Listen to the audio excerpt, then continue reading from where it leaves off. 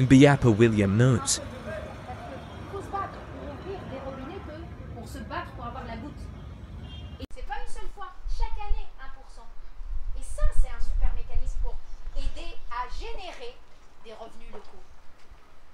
Que ça, ça va dépendre de, capitaux locaux, de ressources locales. Et c'est là on vient maintenant, dans notre sens, une intelligence à mettre en place. Il faut regarder comment est notre réalité maintenant. Ça, le RSE, Inch'Allah, vous arrivez à le faire. Mais ça ne va pas arriver demain, n'est-ce pas? Ça va prendre du temps. OK?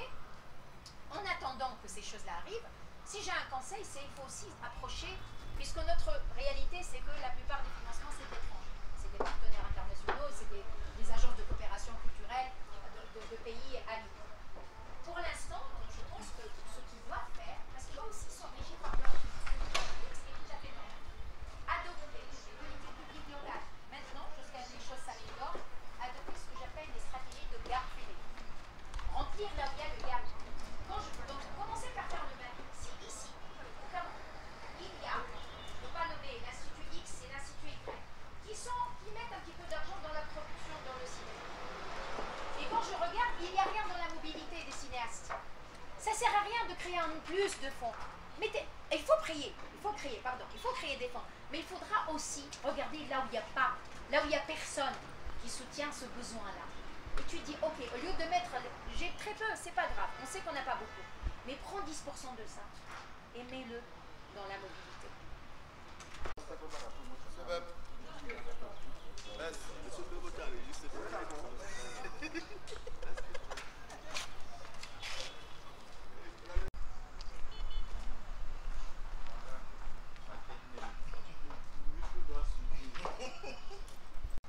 La première, c'est l'accessibilité de l'information.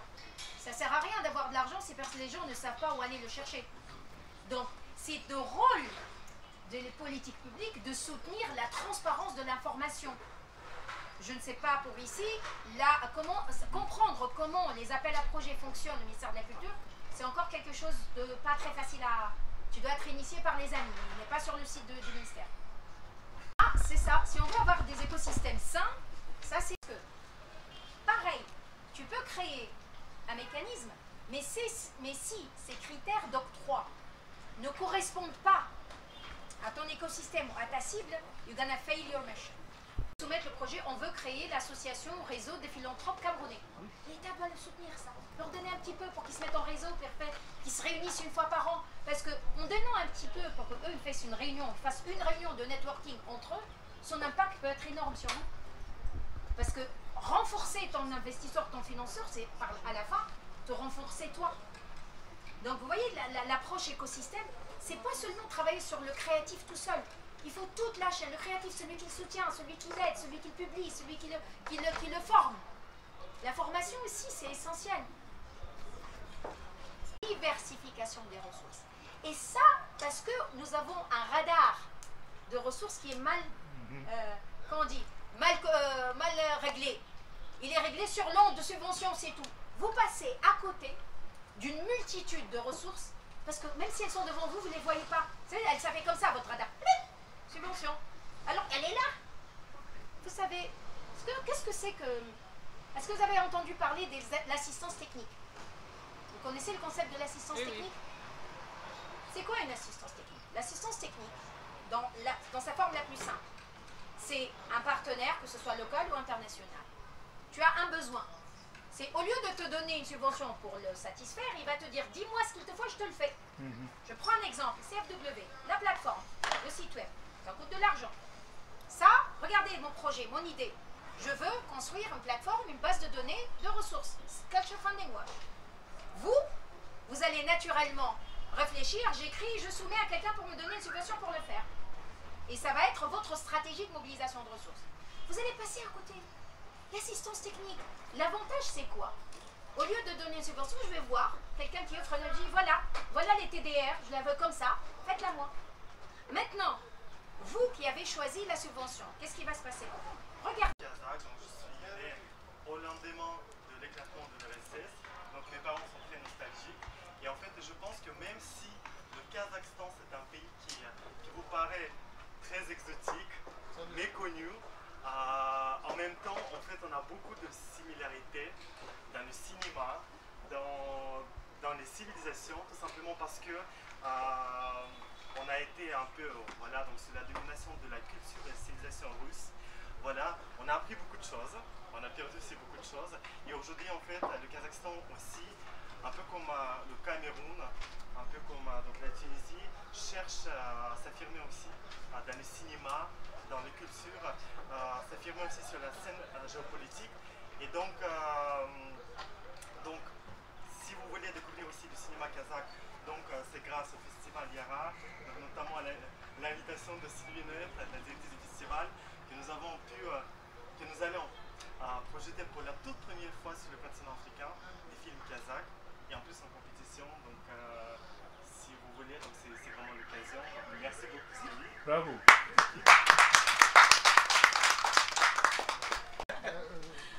Il n'était pas prévu, il n'était pas prévu que je, prenne la parole. Euh, tout d'abord, je voudrais remercier, euh, vous remercier tous euh, pour euh, cette série de, de conférences euh, en, marge, en marge du festival. Et je voudrais surtout faire part de toute ma fierté que la Tunisie soit un pays euh, invité d'honneur de cette, de cette édition. Une deuxième fois.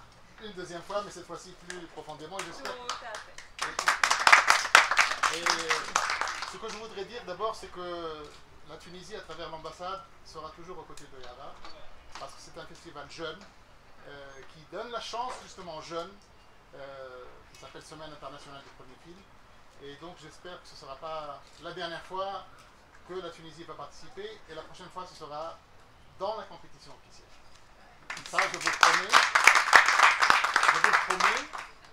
Euh, deuxième chose, je suis particulièrement, euh, particulièrement apprécié l'intervention de Wafa, euh, que je ne connaissais pas, que j'ai découvert ici grâce à toi, Sylvie, franchement, et que j'ai été vraiment impressionné par, le, par le, ton discours euh, holistique sur tous les aspects euh, concernant euh, le soutien et l'aide à la création, et pas seulement la création cinématographique, mais dans le cas de l'espèce pour le cinéma. Merci beaucoup. Donc, je suis également ravi d'avoir connu M. Ivanov, qui parle un excellent français. Oui, curieux. Et de, de découvrir également avec vous tous hein, le, le Kazakhstan, qui est un pays d'Asie centrale à découvrir. Et je serai très heureux de pouvoir euh, assister au, au film. Ce que je voudrais dire, c'est que la Tunisie, comme euh, l'a dit Wafa, est représentée par, je crois, deux ou trois films. Deux films. Moi, je ne voudrais pas toucher à la programmation. Voilà ce que je propose à Sylvie. Je ne voudrais pas toucher à la programmation. Tant pis pour le, un peu les entorses au, au- au protocole parce qu'on n'a pas eu le temps de faire les invitations à temps. Mais on travaillera avec ce qu'il y a, avec ce qui existe. Nous ne voudrions pas euh, bouleverser ta, programmation. Donc, ce que tu décides, euh, mercredi, euh, vendredi, ce que tu veux, nous sommes, serons là présents. Je vous invite tous donc à participer et à, être présents pour voir ces films, dont l'un est très intéressant, de Najib Bakadi. Et à l'issue de cette projection, ou avant, il y aura une petite, une petite réception d'abord, une petite réception pour goûter également, parce que le cinéma, euh, c'est également la culture, et la culture, ce n'est pas que le cinéma, il y a également la gastronomie, la cuisine, donc je vous invite également à découvrir notre, notre cuisine. Et, après, on, on vous fera euh, parvenir euh, la date exacte en coordination avec, avec Sylvie pour le, pour le film qui sera suivi de la, de la réception. Merci encore et longue vie à Yara.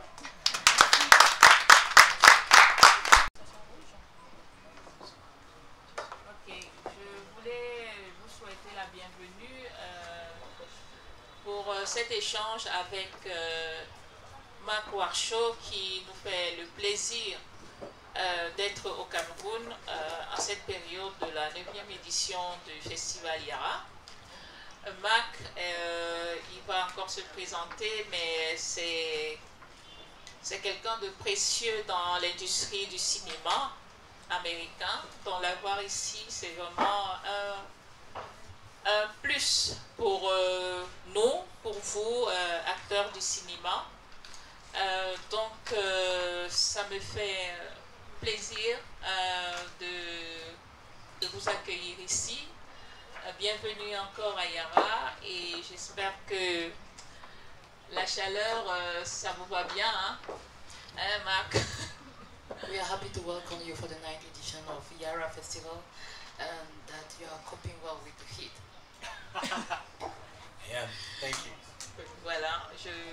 Passe la parole. J'espère que les échanges seront fructueux et que tout le monde va rentrer euh, satisfait.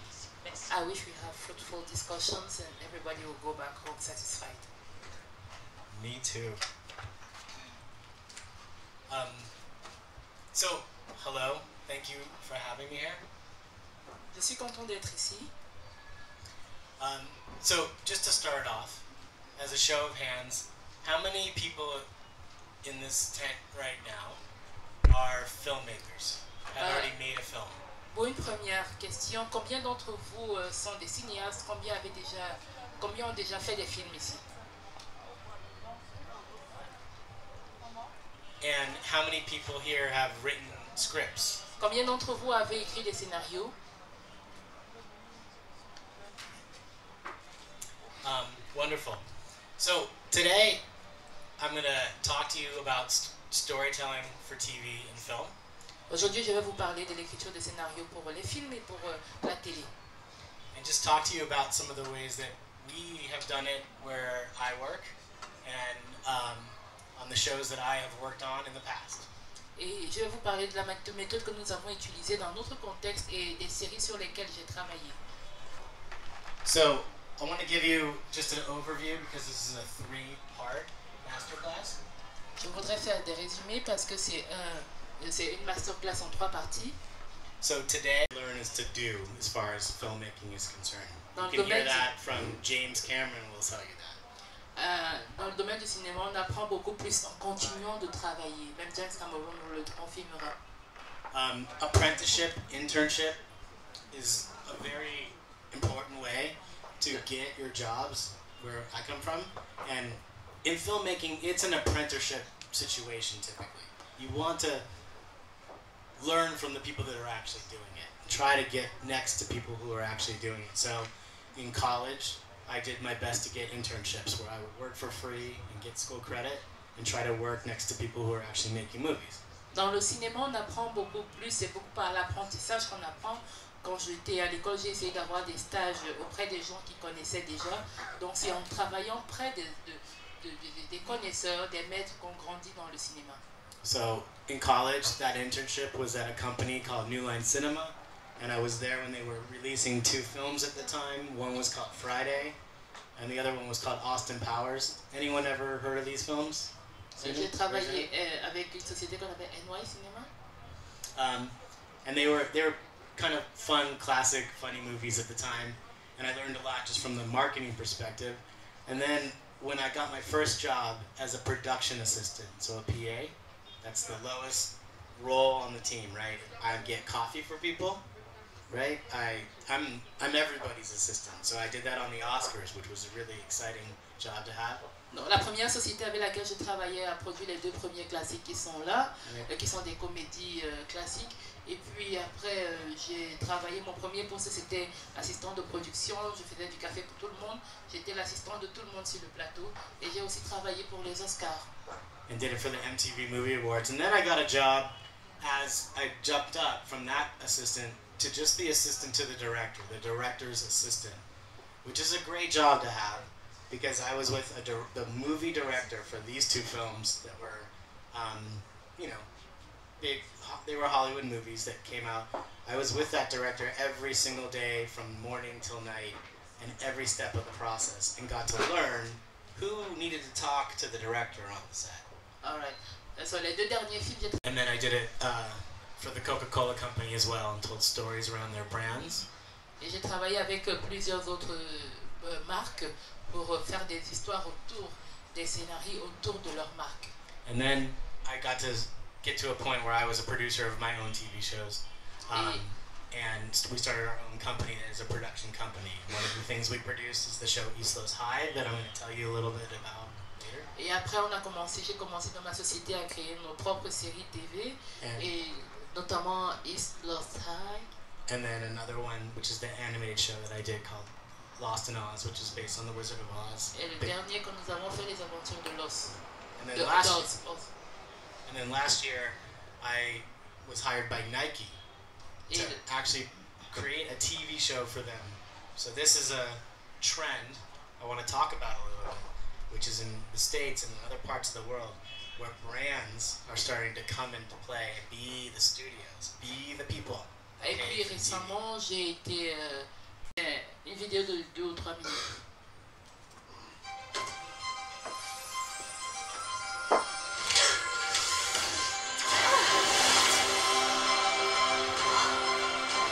To tell a great story, you need a great world. And what better world than the wonderful world of Oz?